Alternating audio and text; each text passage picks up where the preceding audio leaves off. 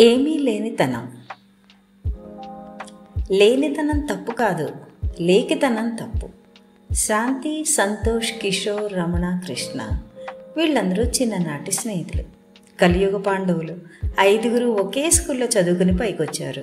ఈ ఐదుగురికి ఎలాంటి తారతమ్యాలు లేవు. కులం మతం డబ్బు హోదా ఇవేవి వారి స్నేహానికి అడ్డంకి కాలేదు. ఎక్కడ అరాచకం అవినీతి అధికారం అమానుష్యం జరిగితే అక్కడ వీళ్ళు ప్రత్యక్షం. వెంటనే వాటిని ఎదుర్కొని సాయశక్తిలా కృషి చేసి ఆ సమస్యని ఒక కొలుక్కి తెస్తూ ఉంటారు. వీళ్ళ ఆశయాలు సిద్ధాంతాలు వేరు. అవి సాధారణంగా ఇంట్లో వాళ్ళకి నచ్చవు. అయినా సరే వీళ్ళు వీళ్ళ పద్ధతి మార్చుకోరు. శాంతి తల్లిదండ్రులకి ఒక్కతే పిల్ల బాగా కలిగినింటి అమ్మాయి వాళ్ళ నాన్న టౌన్లో పెద్ద పేరు మూసిన డాక్టర్. స్వతహాగా ఉన్నత కుటుంబం బోలెడు ఆస్తుంది. అందులోనూ రెండు చేతుల సంపాదన. వాళ్ళ అమ్మకి ఎప్పుడు లేడీస్ క్లబ్లు విహారాలు మీటింగ్లు క్షణం తీరికలేని పనులు. ఇదంతా సోషల్ మూవింగ్ కోసం అలవాటు చేసుకున్న కాలక్షేపం ప్రక్రియ.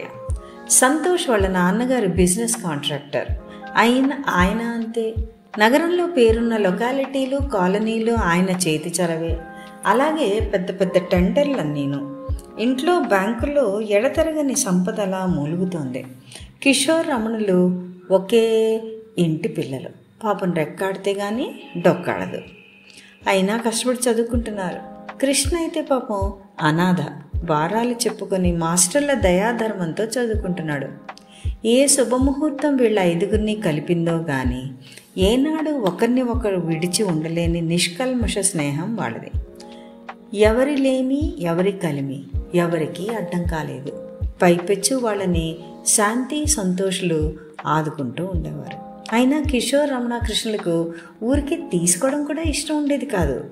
ఏదో దొరికినా పని చేస్తూ అంటే పేపర్లు పాల ప్యాకెట్లు ఇంటింటికి వేయడం సాయంత్రం వేళల్లో ట్యూషన్ చెప్పడం ఇలా చిన్నగా వచ్చిన డబ్బుల్ని అవసరంలో సాయం చేసే ఫ్రెండ్స్కి తీర్చేసేవారు.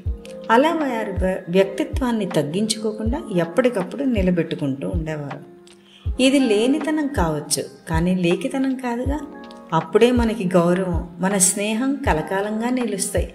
ఇలా ఐదుగురి చదువులు అయ్యాక స్టార్టప్ కంపెనీ ఒకటి పెట్టుకుని మదుపుల సంగతి శాంతి సంతోష్ చూసుకుంటూ ఉంటే ఆర్డర్లు సంపాదించడం వర్కింగ్ ప్రాసెస్ అంతా మిగతా వాళ్ళు చూసుకునేవారు. ఆ ప్రెస్ అనతి కాలంలోనే మంచి పేరు కూడా వచ్చింది. చదివింది కూడా జర్నలిజం కాబట్టి వార్తలను ఎక్క ఎప్పటికప్పుడు సేకరించి సమీకరించి అన్యాయాలను చీల్చి చెండాడి నీతిక నైతిక విలువలు ధీటుగా నిలబడ్డారు ఐదుగురు. ఎప్పుడైతే సమాజానికి ఎదురు తిరిగామో అప్పుడు కొన్ని దెబ్బలు వేట్లు తప్పవనుకోండి. కానీ ధైర్యం స్థైర్యంతో ఎదురొడ్డి నిలబడి అందరి చేత ఔరా అనిపించుకున్నారు. ఎంత ఎదిగామన్నది కాదు ఎంత ఒదిగి ఉన్నామన్నది ముఖ్యం.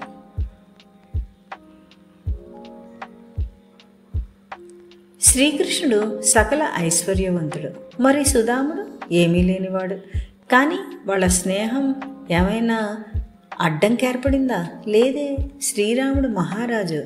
కానీ అడవులు పాలినప్పుడు ఎంతో ఓర్మితో ఆ కష్టకాలాన్ని నెట్టుకొచ్చాడు. ఏమీ లేని శబరి దగ్గర ఎంగిలి పళ్ళని తిన్నాడు. అనుగ్రహించాడు. అది శంకరాచార్యుల వారు కూడా ఏమీ లేని నిరుపేదరాలకి ఉన్న ఒకే ఒక ఉసిరికాయను ప్రేమతో స్వీకరించారు. బంగారు ఉసిరికాయలను ధారాపాతంగా సృష్టించి ఆమెకి ఇచ్చారు ఇలా చెప్పుకుంటూ పోతే ఎన్నో ఇతిహాస పురాణాల్లో ఉన్నాయి. ఏమీ లేని వారే భగవంతుని కృపకు పాత్రలయ్యారు. ధనంతో అన్నీ పొందవచ్చునని చెప్పి అనుకుంటారు. మనకి లేదనుకుని ఏడిస్తే ఓ కన్ను పోతుందిట. పక్కోడుకుందని ఏడిస్తే ఉన్న కన్ను కూడా పోతుందిట. ఈ సామెత చిన్నప్పటి నుంచి మనం విన్నదే అందుకని ఏమీ లేదనే చింత వద్దు. మనకి లేనితనం ఎప్పుడూ వద్దు. ఎవరెంత చేసుకుంటే ఎవరికెంత ప్రాప్తం ఉంటే అంతే కదా దొరికేది. కడివైతే కడివెడి నీళ్ళు గరిటైతే గరిటెడి నీళ్ళు. స్నేహానికి ఇవేవి అడ్డురావు. ఈ కథ వ్రాసిన వారు జనని పప్పు.